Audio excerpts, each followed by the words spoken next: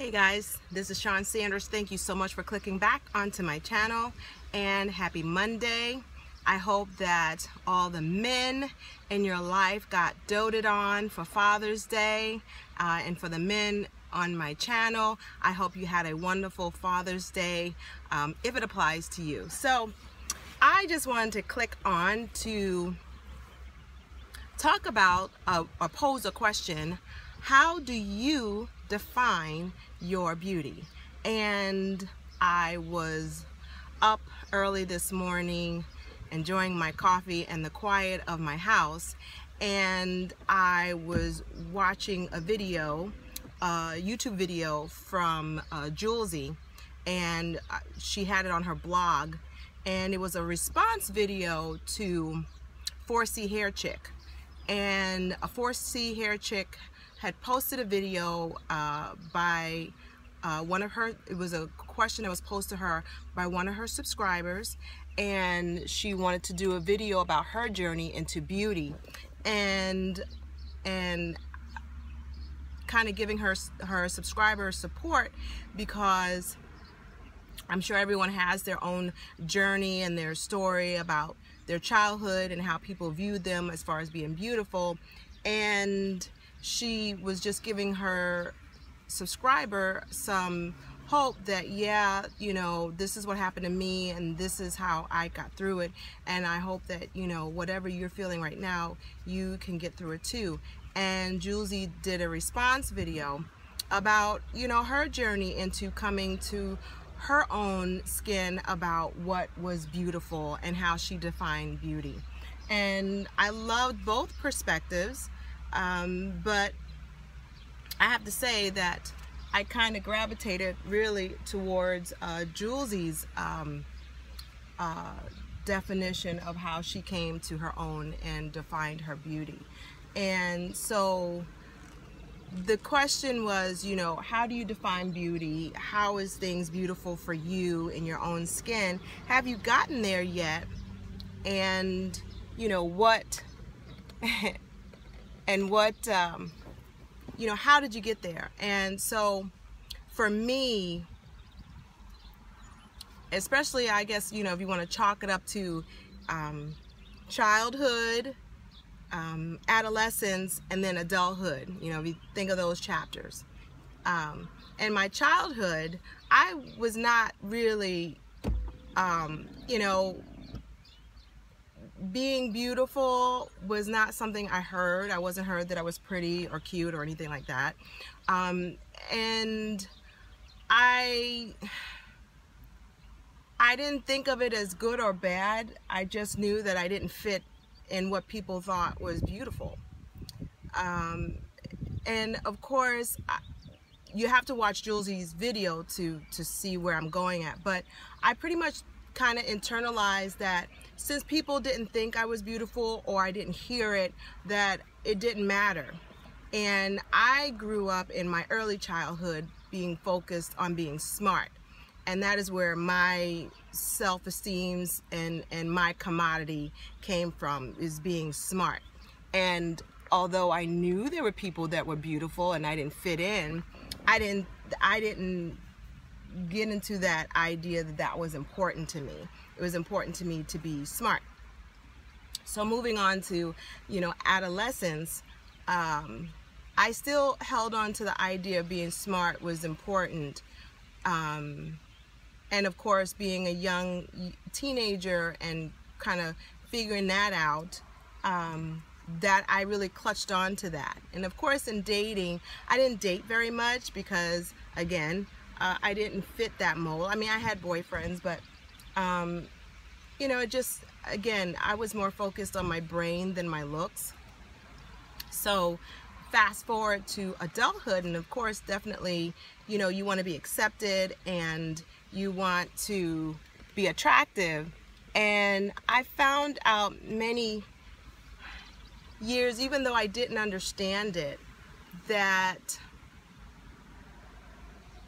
beauty is whatever you define it for you. And I'm so sorry, guys. I don't know what's going on with my mount. It's just kind of sliding back and is annoying me. So maybe I'll just hold it for now because it's really making me mad. So I didn't realize it because I didn't have the vocabulary for it, but I do realize it now that um, beauty is whatever you define it to be.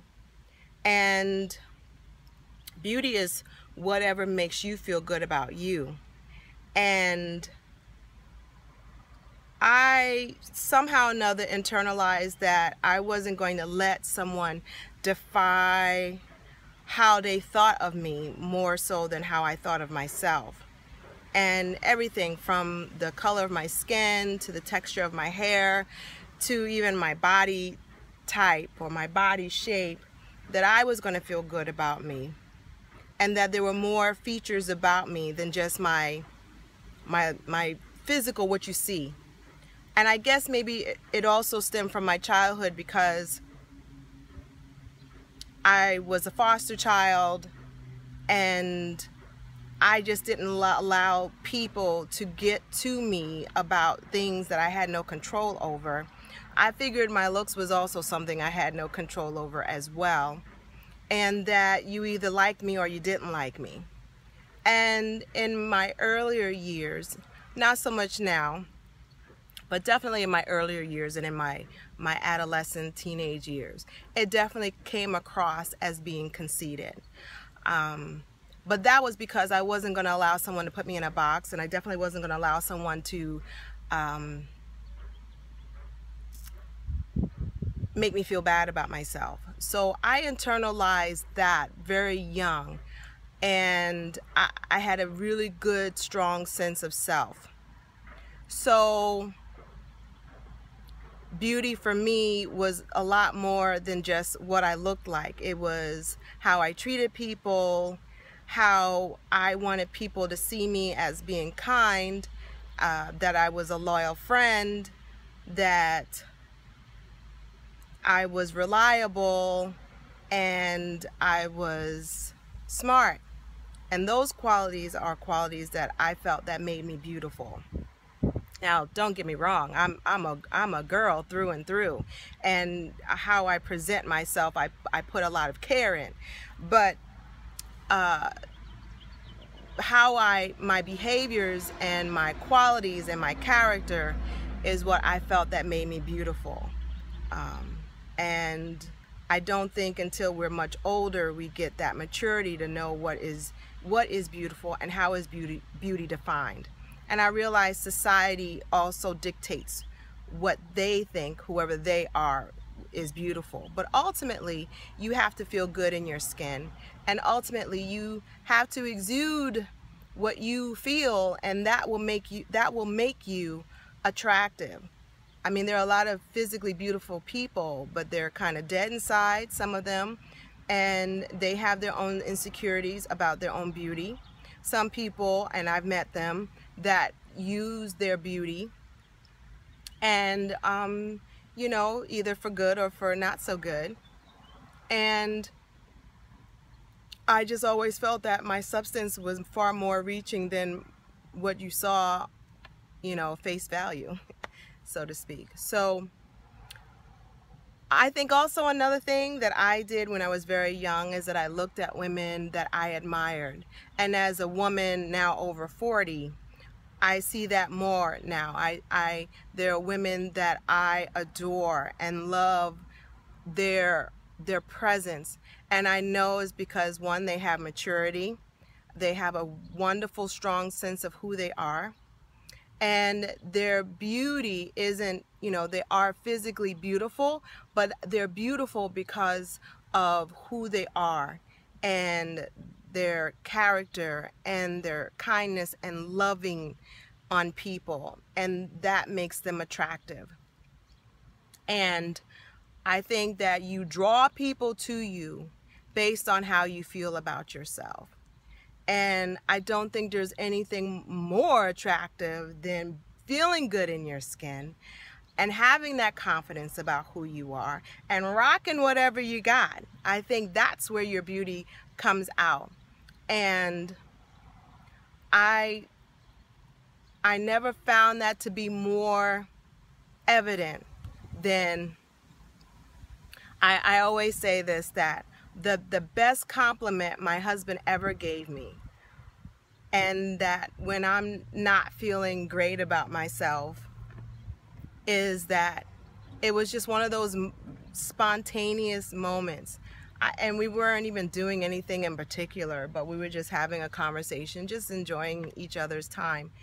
And he just said to me he says you know you are the most beautiful when you smile what else do I need right what else do I need and I just thought that was the nicest compliment I could have ever gotten from anyone and definitely from someone who I love and who loves me. And, you know, when you smile, you bring happiness. When you smile, you know, you feel good. And it, it, it reiterated and, and, and that feeling good feeling good about yourself, feeling good in general is what makes you beautiful. And that, for me, is how I define my beauty. And, you know, looking at the the women that are in their 60s and 70s and 80s they feel good about themselves and they feel good about their life and they feel good about where they are in their place in life. And I only hope and continue to hope that I take that on into the the next journey of my life. And that you know there are going to be norms and there's going to be uh, fads but the real beauty the beauty that never fades is the beauty that you carry inside of you and that you put out into the universe about who you are and that the people who love you and the people who want to be around you um, they will honor that beauty because you honor yourself first. So let me know how you define beauty. And you have a wonderful Monday. Take care of yourself and each other. Talk to you soon. Bye.